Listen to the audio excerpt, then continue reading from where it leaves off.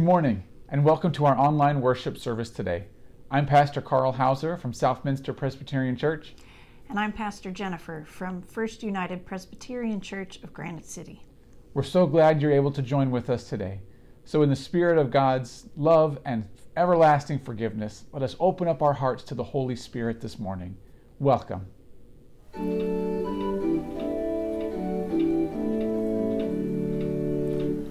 Sing praise to God who reigns above,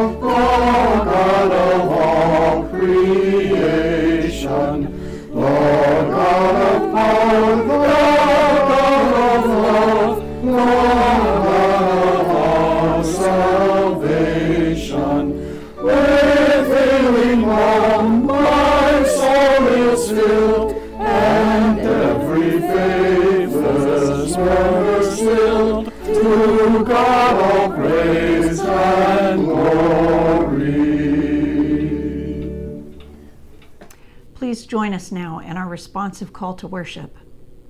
We come as listeners needing a voice of comfort. The Word of God is soft and gentle to our ears. We come as workers needing a voice of direction. The Word of God is brave, and it strengthens our hands. We come as smart, rational people needing a voice of hope. The Word of God is genuine, filled with promises and blessings beyond our understanding. Now for a prayer of adoration and confession. God, creator of all, who goes by many names El Shaddai, Adonai, Elohim, and Father, there is no one quite like you that stands above us all. You live beyond creation, but are alive within our hearts. We look at the complex universe and are humbled by your grace. You have offered us life beyond mortality and hope amid our sin. We're called to be your people, for you have called us in. Hear us now with our unison prayer of confession. Though we have all felt the depression and shame of sin, God does not leave us there, but instead offers us hope through grace. Let us give up the wrongs, the hurts, the jealousies, and the anger that fuels destruction. Let us receive the grace that reminds us we are not simply broken sinners, but beloved children of God. Let us take a moment now for silent meditation.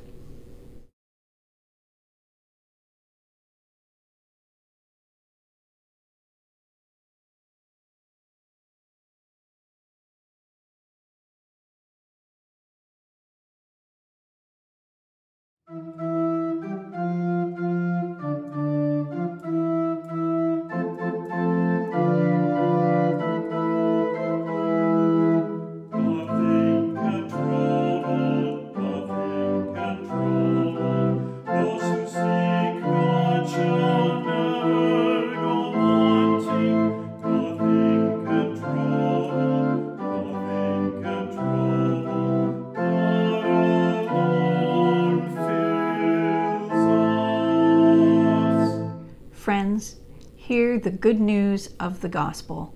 We are not bound by our sins or the sins of one another. We have been washed and redeemed, called and collected into the household of faith. Jesus has given his life so that we might have life. By the name of Jesus, we have been redeemed. Thanks be to God. Amen.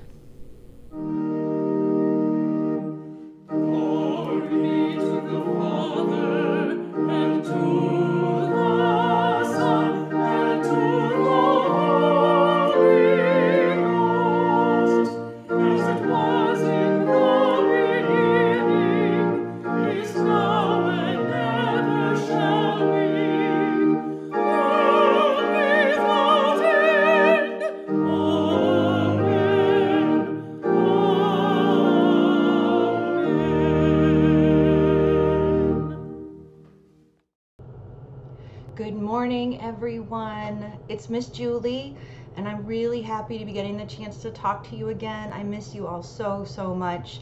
And I can't wait until we can be back together in person um, to sing and play and celebrate um, and worship.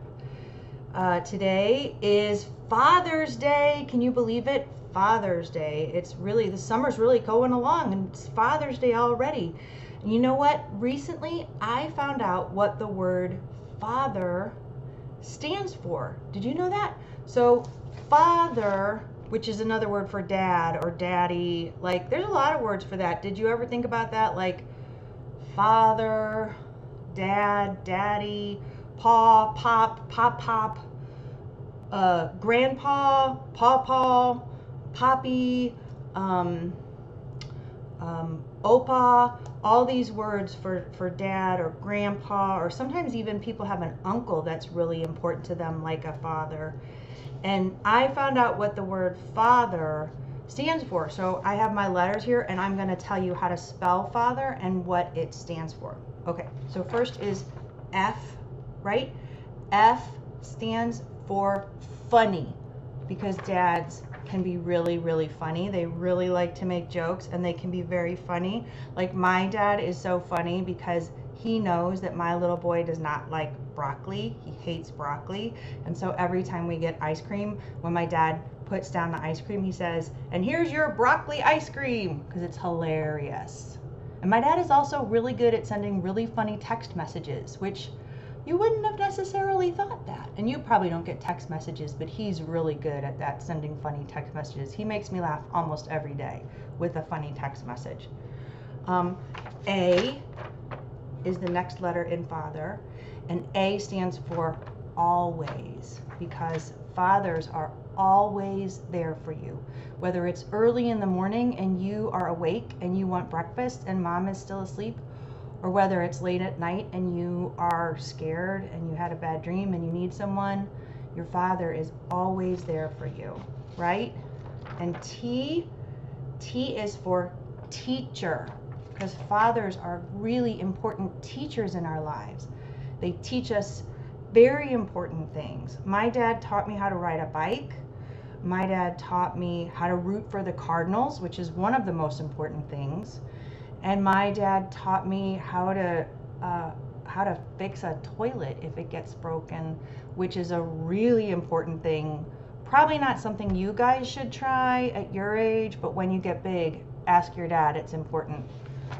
H is for helper, helper. And dads are really good helpers when you have something you need to do. Like when you need to um, fix a toy that is broken or something needs new batteries or when you don't know how to work your computer login or when you move to a fifth floor walk up apartment in Brooklyn and you need help moving in, your dad will help you with that because dads are really good helpers. E is for encourage, which means to cheer you on. They'll be your cheerleader, they'll cheer you on. And dads encourage their children because they always want what's best for them. And R is for ready to pick you up every time you fall. And boy, I'll tell you what, that doesn't just mean like when you fall off the slide or when you fall off your bike but when you have a problem in your life, your dad will always be ready to pick you up when you fall. I know my dad has always been there for me and my brothers and sisters whenever we needed them. So when you put them all together, that spells father, father. And you know, a lot of people use the word father to refer to God, to refer to God in heaven. And they talk about God the Father uh, because God has all of those important traits that a good father has. God will always be there for you. God teaches us how to be good people in the world. God will help you when you're in need. The Word of God will encourage you. And God will always be ready to pick you up when you fall. So say a prayer with me.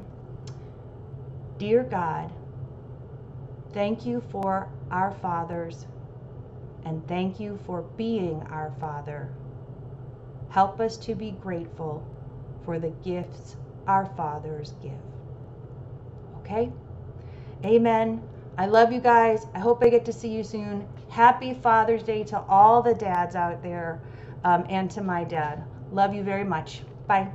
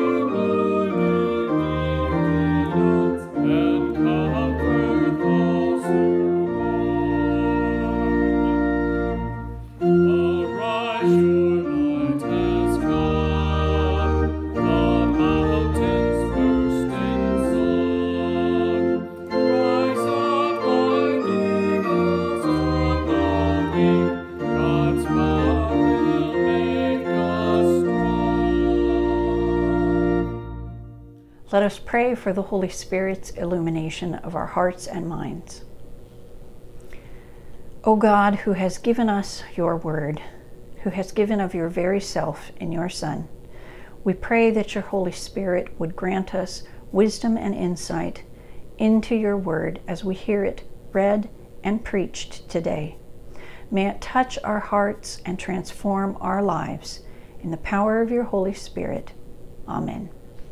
Our first reading today comes from Genesis 21, verses 8 through 21. This is referring to Isaac, of course. The child grew and was weaned, and Abraham made a great feast on the day that Isaac was weaned. But Sarah saw the son of Hagar the Egyptian, whom she had borne to Abraham, playing with her son Isaac. So she said to Abraham, Cast out this slave woman with her son for the son of this slave woman shall not inherit along with my son Isaac. The matter was very distressing to Abraham on account of his son.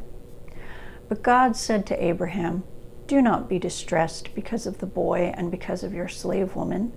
Whatever Sarah says to you, do as she tells you, for it is through Isaac that offspring shall be named for you. As for the son of the slave woman, I will make a nation of him also, because he is your offspring. So Abraham rose early in the morning and took bread and a skin of water and gave it to Hagar, putting it on her shoulder along with the child, and sent her away. And she departed and wandered about in the wilderness of Beersheba. When the water in the skin was gone, she cast the child under one of the bushes. Then she went and sat down opposite him a good way off, about the distance of a bow shot for she said, Do not let me look on the death of the child. As she sat opposite him, she lifted up her voice and wept. And God heard the voice of the boy.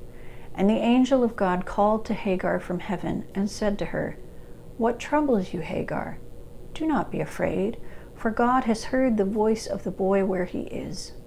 Come, lift up the boy and hold him fast with your hand for I will make a great nation of him. God was with the boy, and he grew up. He lived in the wilderness and became an expert with the bow. He lived in the wilderness of Paran, and his mother got a wife for him from the land of Egypt. Our epistle reading comes from Romans chapter 6, verses 1b through 11. Should we continue to sin in order that grace may abound? By no means. How can we who died to sin go on living in it? Do you not know that all of us who have been baptized into Christ Jesus were baptized into his death? Therefore, we have been buried with him by baptism into death, so that, just as Christ was raised from the dead by the glory of the Father, so we too might walk in the newness of life. For if we have been united with him in a death like his, we will certainly be united with him in a resurrection like his. We know that our old self was crucified with him, so that the body of sin might be destroyed, and we might no longer be enslaved to sin. For whoever has died is freed from sin. But if we have died with Christ, we believe that we will also live with him. We know that Christ, being raised from the dead, will never die again death no longer has dominion over him. The death he died, he died to sin once for all, but the life he lives, he lives to God. So you also must consider yourselves dead to sin and alive to God in Christ Jesus. Our gospel reading this morning comes from the book of Matthew, chapter 10, verses 24 through 39. Jesus is speaking. A disciple is not above the teacher, nor a slave above the master. It is enough for the disciple to be like the teacher, and the slave like the master. If they have called the master of the house Beelzebul, how much more will they malign those of his household?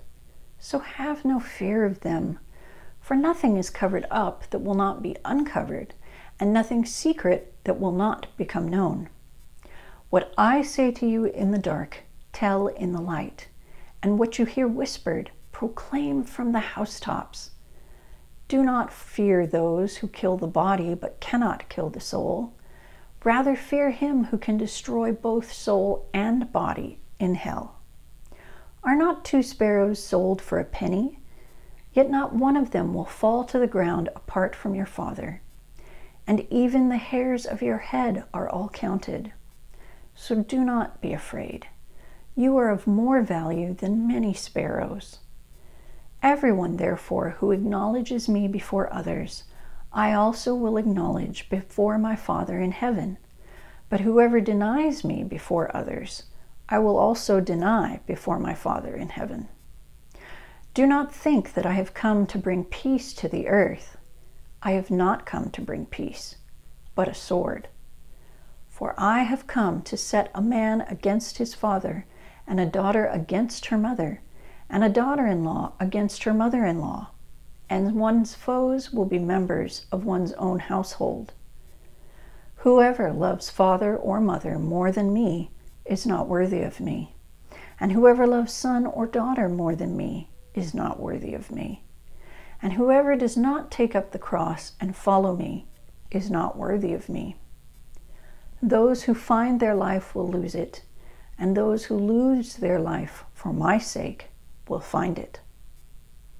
This is the word of the Lord. Thanks, Thanks be to God. Good morning again, and uh, welcome to very complicated scripture passage day. I don't think it was labeled like that in the lectionary, but that seems to be what it is about, right? You have the story about Abraham sending away Ishmael and his wife's commanding it to do so because she's jealous of her kids and the way that Ishmael and Isaac are fighting. You've also got just passage of Jesus telling all of his people that he's come not to bring peace but a sword. That he's come to bring fighting among families. How is that a good thing? How are these passages even related and why can't we just skip this day? And I want to start off with a question. Who do you argue with the most? A friend, a family member, someone in your household, someone online. Okay, now that I've given you a minute to think about it, what do you normally fight about? Is it about principled things, about ideology, about values, or do you fight about laundry and how much time someone they think should be spending around the house or doing chores or anything like that? You see, we argue with people in our household because they're close to us they give us support and encouragement when we need it, but they're also their own people and they can get into they can get under our skin, they can annoy us. So what are we supposed to do with this passage of Jesus when he's talking about these families fighting with each other? And with Abraham splitting up his family, essentially getting rid of one of his disowning one of his sons. I think the key thing to remember is that you have to interpret scripture with scripture. This is a little idiom that I learned while I was in seminary. And at first, when I heard interpret scripture with scripture, I thought that seems kind of dumb. Why? What does that even mean? And the key thing that says that when you get to a passage that doesn't make any sense or that seems to be promoting values that are different from the rest of the Bible, how do the other values and the other passages of Scripture inform this passage? So, in looking at the passage of Abraham sending away Isaac, look at the earlier passages when God promises to Abraham and he says, I will make you the father of many nations. I don't think Abraham had forgotten that when he had Ishmael and then had Isaac and then had to send Ishmael away. It grieved him in his heart, no doubt. But then God assured him in his prayers, I will be with Ishmael. This is part of my plan for you. Have faith, and it will go well with you. So he does. Abraham listens to Sarah, and God does exactly what God promised. And Abraham was able to rest in faith, to have peace, to know that even though it might not have been what he thought was best, he did what God thought was best. And the same passage with Jesus when he says that he's come to set family members against one another. I don't think it's because he intentionally wants us to fight. He doesn't want us to be like, I'm going to argue with you, and I'm going to argue with you, and why did you say that, and I hate you. That's not really Jesus' goal. He doesn't go around picking fights so much with people and telling them, you know what, if you really want to spread the gospel, get a bunch of swords and go kill people and get into a lot of bar fights and argue and make sure you beat up a lot of people. So when we read this passage in Matthew, we have to know Jesus is coming at this metaphorically. It's not literally about turning family members against each other, not literally taking up a sword. So, what does Jesus normally promise in the rest of Scripture? What does the rest of the Bible tell us that can help inform these passages?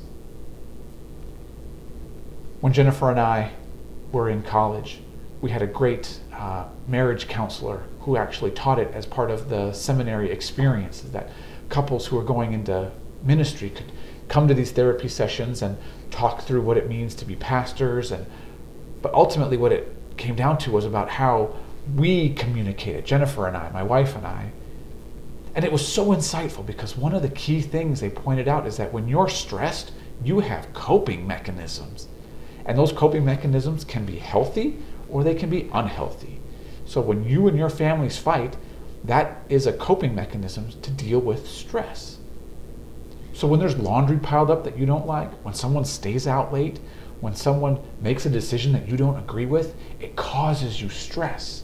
And that's why you argue. You argue because you're stressed. So if we can check our own stress and take a deep breath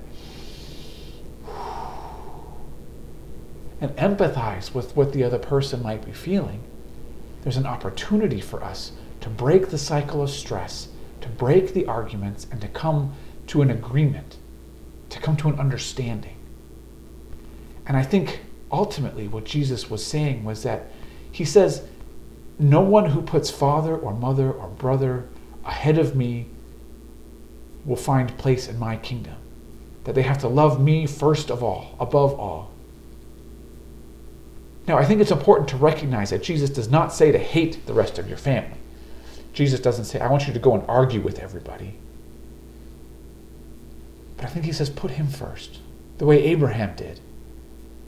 The way Abraham received a peace that passes all understanding.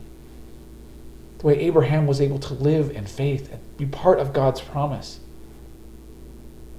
I'm sure Abraham felt stressed before, but after his time of prayer, he felt relieved. He felt that he could talk with Sarah. He felt that he could know that God was going to protect Ishmael and Hagar. And indeed, God does. When Jesus comes and says families are going to fight, that's kind of what families do at times. But he says, if you put me first, if you put me above all, I will give you a peace that transcends all understanding. If you put me ahead of your family, if you put me not in a sense of degrading your family, but put me first, come to me first, I will help you with your family. For in this counseling session, this idea of stress, one of the things that we are told to do um, as a couple is that when we get into an argument, when we get ourselves feeling stressed, to stop, to say out loud what is causing us to feel upset or stressed. I am upset that the dishes all get piled this certain way in the sink. Ah! And then Jennifer can respond and she can say, I empathize with that. I know it must be frustrating. I can see that it makes you stressed. And then I have to say, but you know what? I am a child of God. And the truth is, how the dishes are piled does not affect how God sees me. How the dishes are arranged does not affect my worth in God's eyes, for God loves me. And I don't have to worry so much about the dishes. And in doing that, suddenly I don't have to yell at Jennifer about the way the dishes are stacked. And she doesn't have to get defensive and yell at me about me yelling at her. And we don't have to yell anymore. It's been a great tool for us. Not that we yelled at each other all that much. But what we do, when we do get stressed, like I'm sure you have felt stressed, you felt stressed with your kids, with your parents, with your spouses. When you get stressed, take a deep step back, take a deep breath, and remind yourself of what Christ has done for you. And that whatever you're stressed about, God is with you. God is with you in that moment. So, whatever you're saying to your family, whatever you're yelling at your spouse, you don't have to feel the weight and burden of the entire world on your shoulders every time you get into an argument. Your family is great, they can be a huge blessing, they can also be our worst nightmare. On the cover of the bulletin, there's a picture of a child who drew a fairly typical picture of parents and the kids holding hands in a tree, you know, like you'd expect a kid's drawing to be. But the reflection down below it is a family that was in a severe state of stress and dysfunction, and the child drew that picture. Visually expressing what it looks like when we have dysfunctional relationships, when we're not able to communicate, when we put our own pride and ego ahead of others and we try to just get our way. And we said we yell, we belittle, we demean, we shame other people. And Jesus says that's not the way that's going to bring peace. That may be what your family does at times. For I know, you know, my own family of origin, your family of origin, wherever we've been, we've experienced pain. It's Father's Day weekend. And I must say, I do enjoy the privilege of having a son that God has gifted us. I hope He knows that we put God first in our family. That when we do get stressed and we do want to yell and argue, that we'll take a step back, take a deep breath, and remind ourselves God is here. God loves us. God loves me. God loves you. And God sent Jesus to remind us that even though we might argue with our family, if we put Him first, we can have a deep peace that will get us through this. We don't have to be stressed about the things that we argue about. We don't have to carry the weight along with us into every argument that we have. We don't have to relive our past hurts every day. We can give them to God and be forgiven.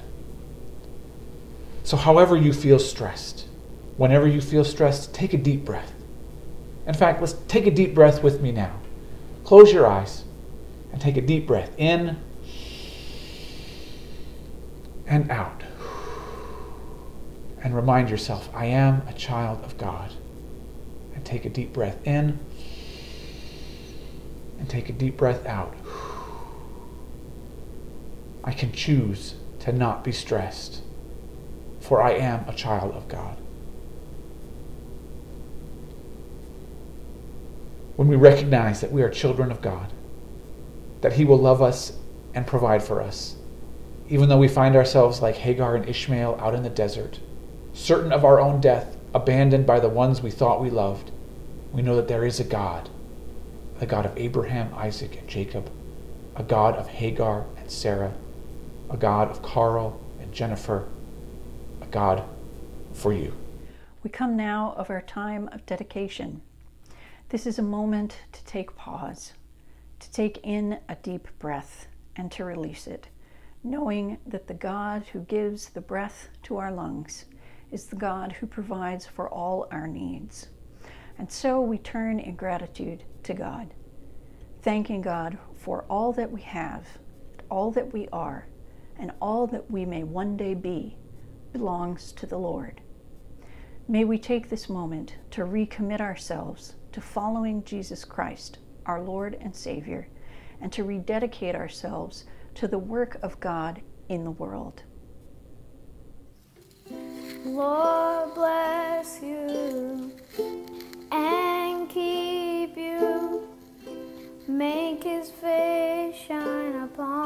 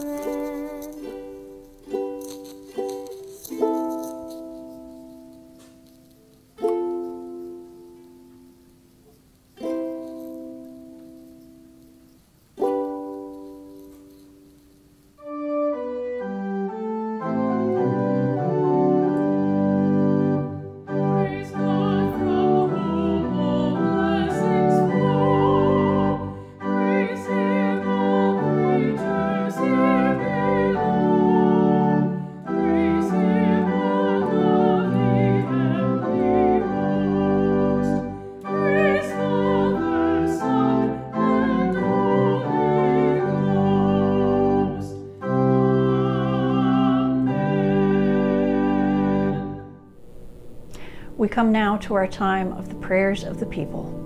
Let us pray. Through dreams and visions, O God, you broaden the horizon and hope of your people, that they may discover the meaning of your covenant, even in the midst of trial and exile. Increase the number of those who believe in your word, so that all people may joyfully respond to your call and share in your promises. Amen. Friends in Christ, God invites us to hold the need of our siblings as dear to us as our own needs. Loving our neighbors as ourselves, we offer our thanksgivings and our petitions on behalf of the church and the world. We pray for birthdays celebrated. We pray for anniversaries remembered. We pray for new births. We pray for those who grieve. We pray for your world of hope and for your people who cry out. We pray for laughter and celebration and for where strife hardens hearts. We pray for our fathers, as good or bad as we may think of them, and for those who have stepped in to be like a father for someone else, we pray. God, you are the one who looks over us, guides us, and shepherds us. Hear our prayers, God of power, and through the ministry of your Son, free us from the grip of the tomb, that we may desire you as the fullness of life and proclaim your saving deeds to all the world. Amen. Let us now join in the words that Jesus taught us to pray together, saying, Our Father, who art in heaven, hallowed be thy name. Thy kingdom come, thy will be done, on earth as it is in heaven. Give us this day our daily bread, and forgive us our debts as we forgive our debtors. Lead us not into temptation, but deliver us from evil. For thine is the kingdom, and the power, and the glory forever. Amen.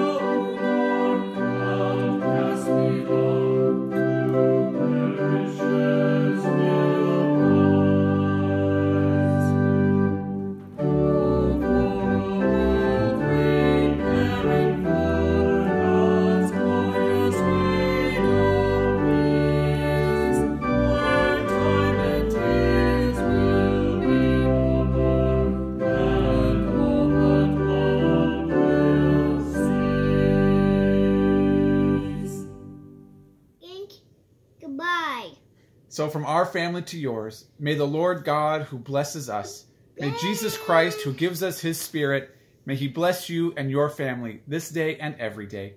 Go in peace. Amen. Amen.